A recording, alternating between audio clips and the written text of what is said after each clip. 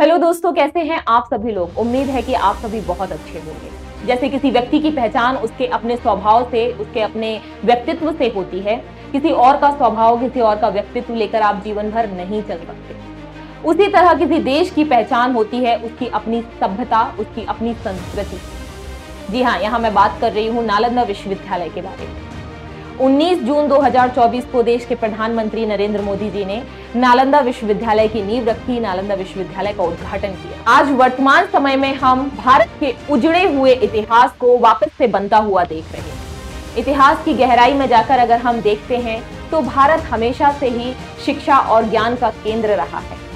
अगर वर्तमान समय में हम कैम्ब्रिज और ऑक्सफोर्ड यूनिवर्सिटी के साथ नालंदा विश्वविद्यालय को कंपेयर करते हैं तो हम देखेंगे कि नालंदा विश्वविद्यालय हमेशा से ही उच्च शिखर पर रहा है। देश विदेश से छात्र यहाँ पढ़ने आते थे। इसकी स्थापना पांचवी शताब्दी में गुप्त काल में की गई थी। दुनिया को ज़ीरो की पहचान कराने वाले आर्यभट्ट इसी नालंदा विश्वविद्यालय के हेड थे। आज वर्तमान समय में हम देखते हैं कैम्ब्रिज यूनिवर्सिटी और ऑक्सफोर्ड यूनिवर्सिटी को।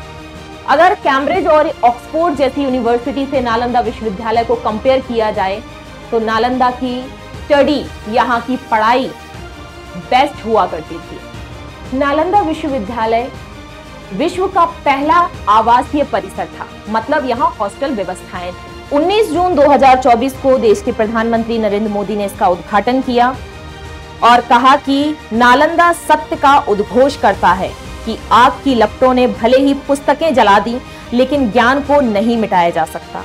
नालंदा केवल नाम नहीं है एक पहचान नहीं है, एक सम्मान है। नालंदा एक मूल है, मंत्र है, गौरव गाथा है। नालंदा के ध्वस्त ने भारत को अंधकार से भर दिया था। अब इसकी पुनर्स्थापना भारत के स्वर्णिम युग की शुरुआत है। शिक्षा के विकास से अर्थव्यवस्था और संस्कृति की जड़ें मज़बूत होती नालंदा यूनिवर्सिटी में कोरिया, जापान, चीन, इंडोनेशिया, पर्सिया और टर्की जैसे कई देशों से स्टूडेंट्स यहाँ पढ़ने के लिए आते थे। इस यूनिवर्सिटी में दस हज़ार छात्र एक साथ रहते थे। दुनिया का एकमात्र ऐसा विश्वविद्यालय जहाँ आकर छात्र शिक्षा लेना चाहते थे। और ये एडमिशन इनको इतनी आसानी से नहीं मिलता था।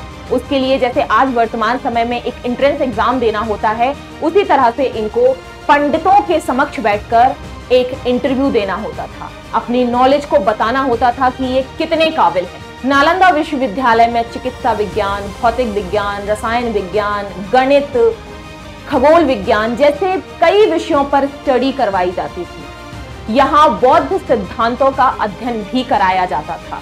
हैरानी की बात तो ये है कि जिस समय देश में प्रिंटिंग मशीन भी नहीं थी, उस समय नालंदा की लाइब्रेरी में 90 लाख पांडुलिपियाँ थी। पांडुलिपि का मतलब होता है हाथ से लिखी हुई किताबें। यानी कि प्रिंटिंग मशीन ना होते हुए भी यहाँ हाथ से लिखी हुई 90 लाख किताबें नालंदा के विश्वविद्यालय में उसकी लाइब्रेरी में थी। आप समझ सकते हैं कि 90 लाख किताबें वो भी हाथ से लिखी हुई, लेकिन बारहवीं शताब्दी के अंत तक आक्रमणकारियों का आक्रमण होना भारत में स्टार्ट हो गया।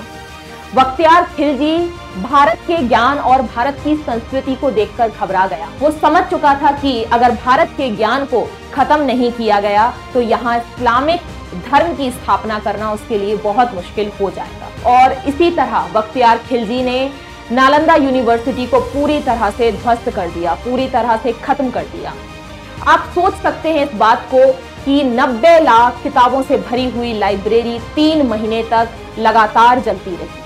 हमारा ज्ञान का भंडार जलकर खत्म हो गया और इस तरह से दुनिया का पहला विश्वविद्यालय जलकर राख हो गया। ये बहुत खुशी की बात है कि नालंदा विश्वविद्यालय की नींव रख दी गई है, परंतु सोचने वाली बात यह है कि कितना सारा ज्ञान, विज्ञान, खगोल विज्ञान, रसायन शास्त्र, भौतिक विज्ञान, बायोलॉजी जैसे सब्जेक्ट जलकर राख हो गए। इन्हें वापस नहीं लाया जा सकता। लेकिन हाँ एक नए सिरे से उस ज्ञान को अर्जित करने की कोशिश की जा सकती है।